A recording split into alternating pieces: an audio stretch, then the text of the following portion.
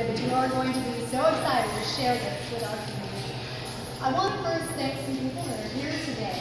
Um, Liz Curioni, who is the organizer um, of this exhibit, comes to us from the Contemporanea Hotel.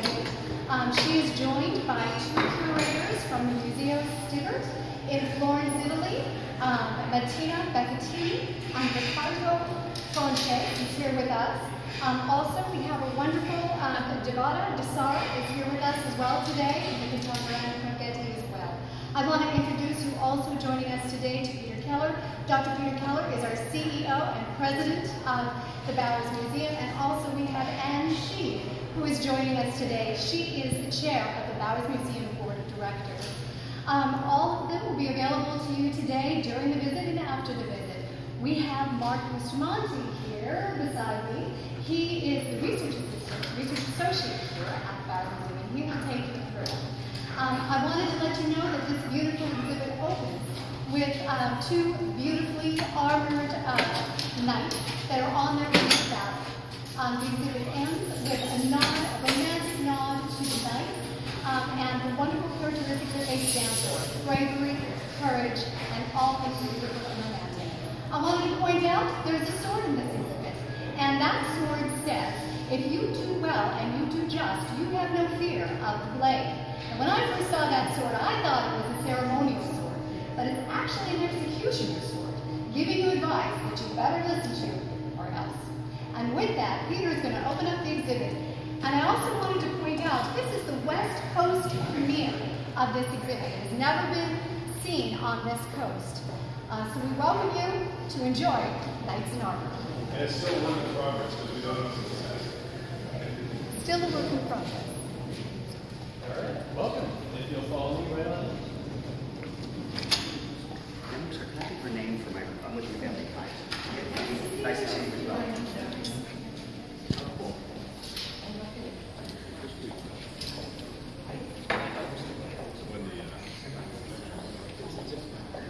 So, knights in armor. Could there be a image more transposed in the minds of people um, than this? You know, the first thing we're read as children is stories, legends of these knights doing heroic deeds, and this exhibition is the story of them.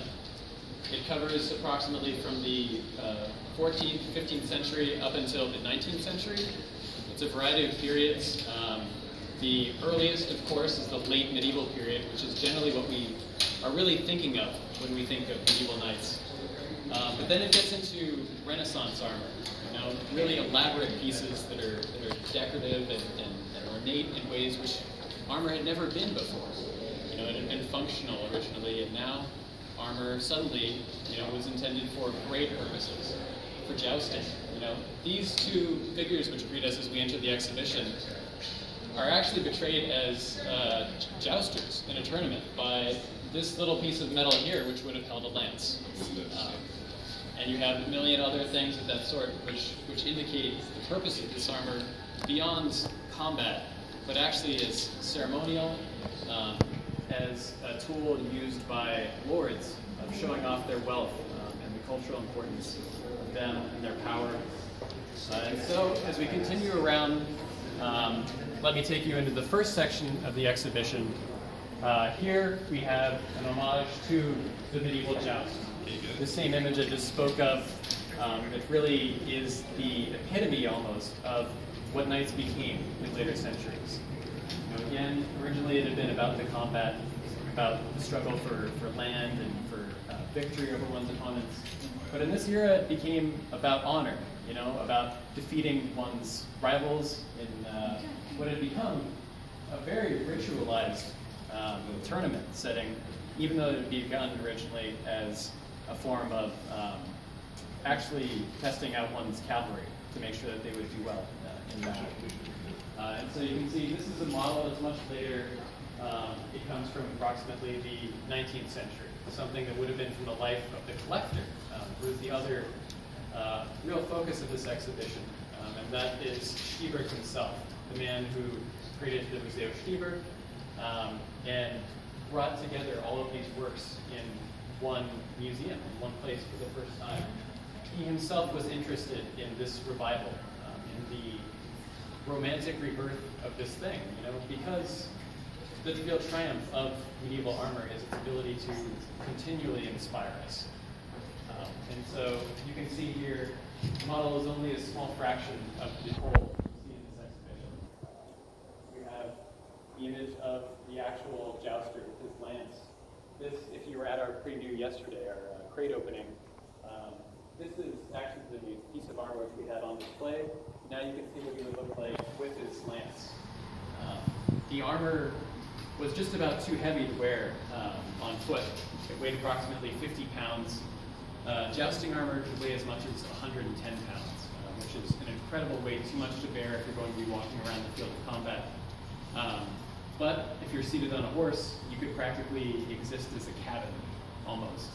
You know, you're not mobile. Your only goal is to stay on that horse and not get dethroned. You folks are welcome to come in a little bit more. And And please do follow me um, as I move around. There's a lot of things to, to see, so um, I will be constantly moving. Um, referring now to these works of art, these help visualize the exhibition, you know, the pieces in it, what, what it actually would have looked like, combat, you know, the, the original intent of the armor, and then you see here, just next to it, how it became used as part of a ceremonial procedure. Um, the other interesting thing is that I've spoken a little about how uh, knights exist in contemporary culture. Um, and part of that, we can actually see here, um, the symbol some of you may recognize. Uh, the man is a knight of Malta. Um, and so you can see that, that knightly orders still very much exist uh, in the 21st century. Um, certainly they've changed. They don't go around parading on battlefields anymore. Um, instead, they're doing charitable deeds, um, serving the other um, values of chivalry, you know, honor and courage, uh, and and, and faith.